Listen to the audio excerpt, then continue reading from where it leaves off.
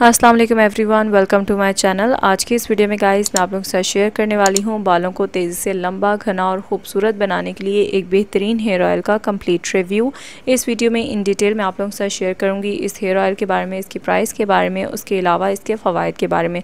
First of all बात कर लेते हैं पैकेजिंग की तो ये हेयर ऑयल आपको कार्डबोर्ड की खूबसूरत पैकेजिंग में मिलता है। ये अर्निका हेयर ऑयल है जो आपको ईज़िली किसी भी मेडिकल स्टोर से, उसके अलावा किसी भी कॉस्मेटिक शॉप से मिल जाएगा।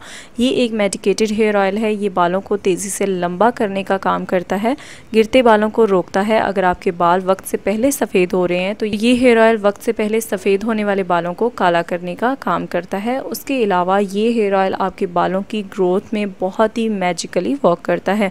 अगर इसकी प्राइस की बात करें तो ये हेयर ऑयल आपको मार्केट से टू फिफ्टी या थ्री हंड्रेड के अराउंड मिल जाएगा। अगर आप इस हेयर ऑयल को ऑनलाइन बाई करना चाहती हैं तो आप इसे दराज डॉट पी से भी बाई कर सकती हैं।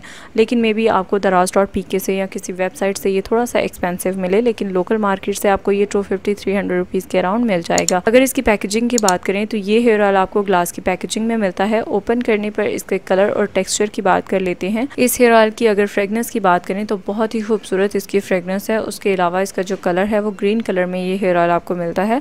आपने इस हेयर ऑयल को यूज़ किस तरह से करना है, वो मैं आपको बता देती हूँ। नाइट टाइम में आपने इस हेयर ऑयल को अपने रूट्स में अप्लाई करके सो जाना है। नेक्स्ट डे मॉर्निंग आपने अपने बालों को वॉश कर देना है।